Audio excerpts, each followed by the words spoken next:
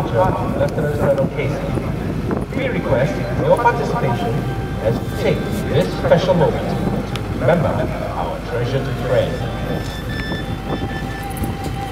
As the Black Knight here on your right, may I ask that we observe a moment of silence for Lieutenant Colonel Casey.